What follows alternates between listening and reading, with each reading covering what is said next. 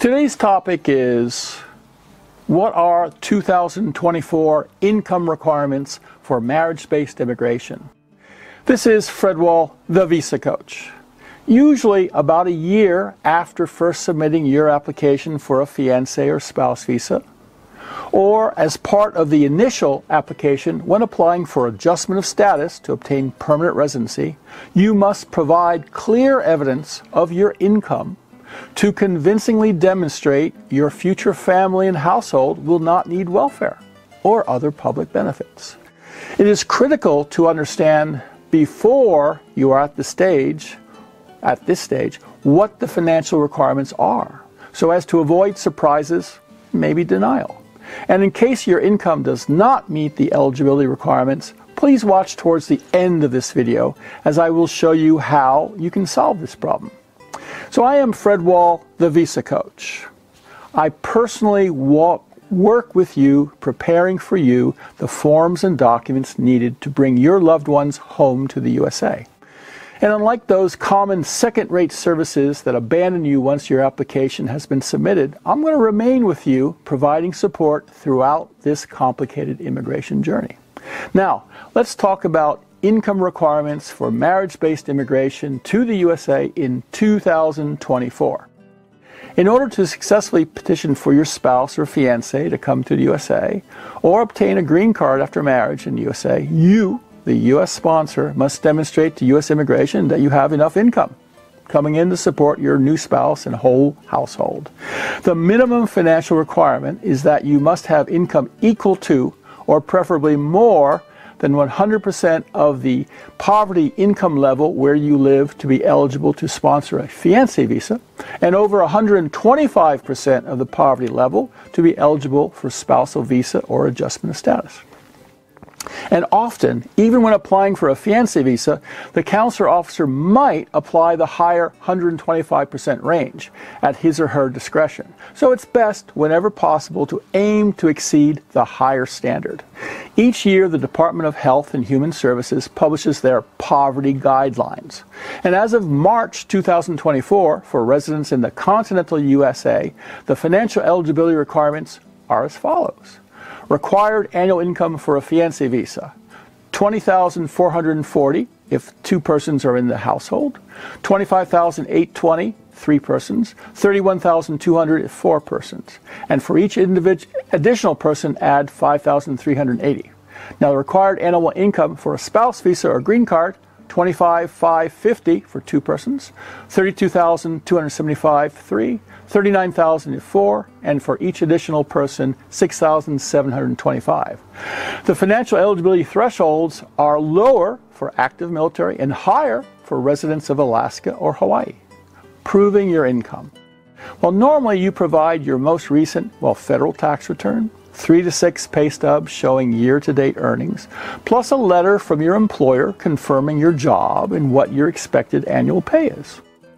If your income might be low, but you have money in the bank, your cash assets can be used as an alternative for annual income.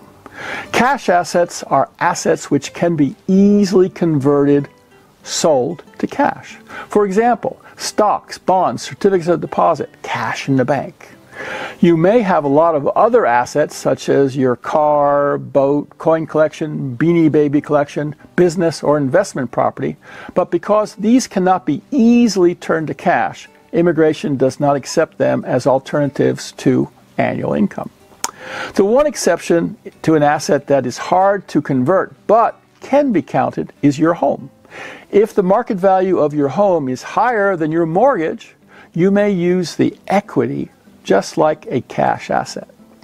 Now, $5 of cash assets is the equivalent of $1 of annual income. So, for example, a retired fiancé visa sponsor living in California with no income and no dependents would need to have 5 times 20,440 or 102,200 in cash assets to qualify for the fiancé visa. Alternatively, a combination of income and assets can work. For example, if the sponsor's income is $10,000 per year, but then his annual income is short by 10,440, so he should have five times that amount or 52,200 cash or convertible assets to qualify. This is calculated by subtracting 10,000 from the annual requirement of 20,440 and then the difference of 10,440 times 5 equals 52,200 of cash assets needed. Now what if you don't have enough income or assets? Well, in that case, you could ask a relative or friend to act as a co or joint sponsor. And just like buying a car, your joint sponsor could co-sign your loan. Now, when a joint sponsor is used, the size of the household increases. The combined household for the financial calculations would include the household size of the sponsor combined with the household size of the co-sponsor. For example, a college student petitioning for his fiance asks his father to join to be the joint sponsor. Now, both the college student and the father would each complete an affidavit of support. The student's household has two people, himself and his fiance. The father's household would be the father, mother, and the two siblings still living at home. Thus, the combined household would be six persons. And the combined income of both sponsor and joint sponsor would have to total 41,960 or more.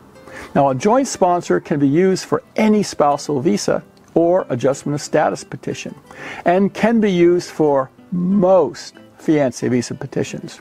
However, not all consulates allow the use of a joint sponsor for a fiancé visa. For example, Philippines, Indonesia, Vietnam, Nigeria do not. Now, if you are applying for a fiancé visa and need a joint sponsor, before filing the application, well, best is to contact the consulate directly and confirm whether the consulate's policies permit the use of a financial joint sponsor or not.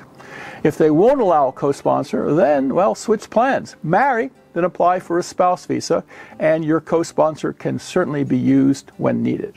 This was Fred Wahl, the Visa Coach. Now, I am here to personally guide you on this journey. Click here to sign up for our monthly newsletter and receive bonus ebooks. Here for YouTube's recommendations.